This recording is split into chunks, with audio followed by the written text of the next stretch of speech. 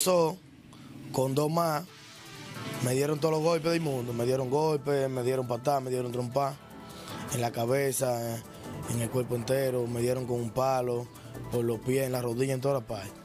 Christopher de la Cruz Burgos, joven ebanista de la comunidad Tierra Dura en Moca, aún no se recupera de la golpiza que recibió de parte de tres agentes policiales encabezado por el mayor Lugo del DICRIN en el destacamento policial de Esperanza, provincia Valverde.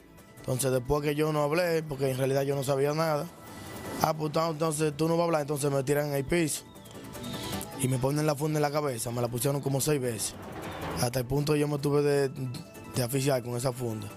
Y con la funda dándome, dándome, entonces el mayor con la funda en la cabeza y los dos que estaban ahí arriba de los pies míos, arriba de, lo, de las rodillas y, los, y los tobillos míos para que yo no me mueva. Y así pasó hasta que me dieron golpe y golpe, hasta que entraron los muchachos.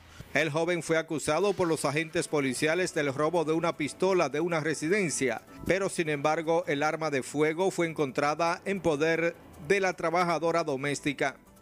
No me sueltan porque la gente que se movieron, dama, mi madre, la mujer, la, la, de la casa se movió para que me soltaran porque que ya la pistola había aparecido una noche. Que el mismo día en la noche apareció. Mary Burgos, madre de Christopher, denunció que pese a la tortura que fue sometido su hijo, los agentes policiales cobraron la suma de 30 mil pesos para no ficharlo como delincuente.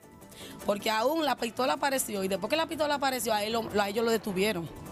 A él lo pusieron en una, en una cerda y le dijeron a los presos, acaben con él.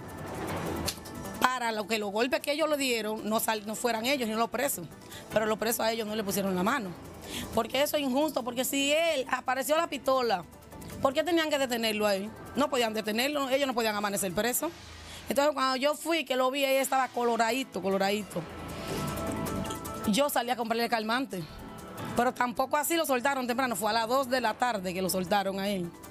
Y la, el señor, la señora de la casa me dijo que ellos le, le habían hecho un expediente a él, de que como que él fue agresivo con pistola, coheto, que lo amenazó, y le hicieron un expediente y el señor de la casa tuvo que pagar 30 mil pesos para que le quitaran ese expediente, porque ellos saben que ellos, ellos eran inocentes. José Alberto Santiago, ayudante de pintura, corrió por la misma suerte. Tuvo que amanecer detenido en el cuartel del cruce de Esperanza. A preguntarle a él, no tienen, o sea, no tienen que llegar al punto de darle golpe, creo yo. Y nosotros, yo y el otro joven que andábamos, nos pusimos histéricos y de una vez los policías fueron y nos, nos esposaron y nos llevaron inmediatamente para otro cuartel que no fue en el mismo que dejaron a Christopher. Los familiares del joven solicitan al director de la Policía Nacional, Mayor General Eduard Sánchez, investigar el